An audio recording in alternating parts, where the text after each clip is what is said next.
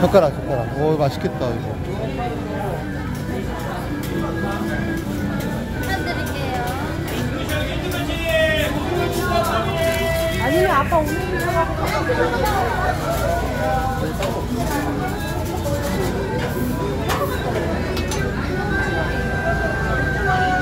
야, 너네 먹고 싶은 거 다 먹어 아니 샀어.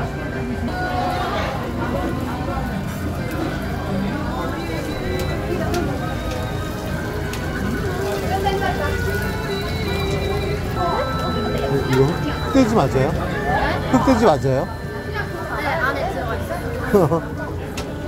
제주, 제주도는 다 흑돼지인가 봐 이거는 그 흑돼지랑 어, 부침가루 계란 이렇게 들어있고 여기는 흑돼지, 김치, 양파 이렇게 어. 들어있어요.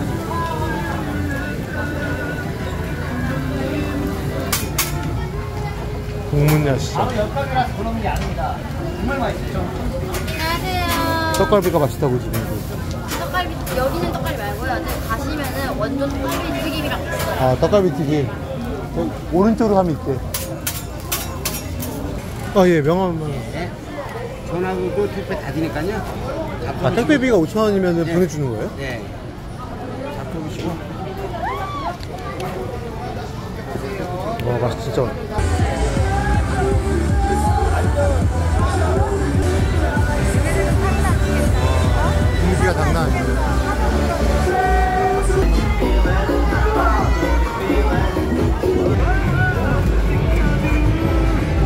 반반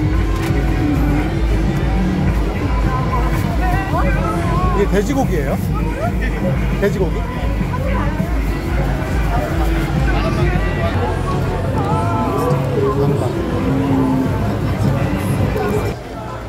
와 제주 역시 옥돔 아, 구워 먹으면 맛있겠다. 우주 땅콩 와 이거 맛있겠다. 이거고 들어가자. 그치? 와 역시 제주도는 귤이지. 여기 너무 귀엽다.